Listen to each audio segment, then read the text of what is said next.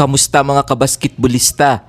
Tinalo ng Serbia ang Germany para sa bronze medal match 93-83. Humakot ng 19 points, 12 rebounds, 11 assists si Nikola Jokic. Nag-ambag naman si Vasilije Misic ng 19 points, 2 rebounds, 2 assists.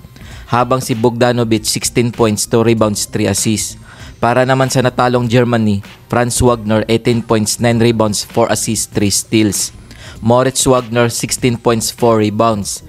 Dennis Schroeder 13 points, 4 rebounds, 6 assists. Kung bago ka pa lamang sa channel na to, mag-like na at subscribe. Pinataob naman ng Team USA ang France para sa gold medal match 98-87.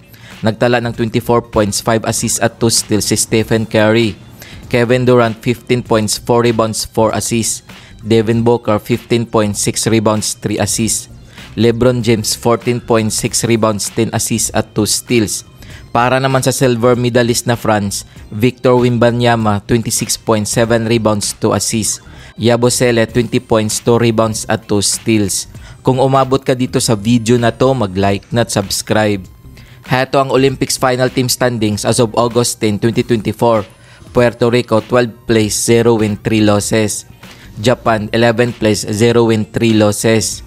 Spain 10th place, 1 win, 2 losses. South Sudan 9th place, 1 win, 2 losses. Greece 8th place, 1 win, 3 losses. Brazil 7th place, 1 win, 3 losses. Australia 6th place, 1 win, 3 losses. Canada 5th place, 3 wins, 1 loss. Germany 4th place, 4 wins, 2 losses. Serbia bronze medal, 4 wins, 2 losses. France silver medal, 4 wins, 2 losses. USA gold medal, 6 wins, 0 loss. Kung nagustuhan mo ang video na to, mag-like na at subscribe.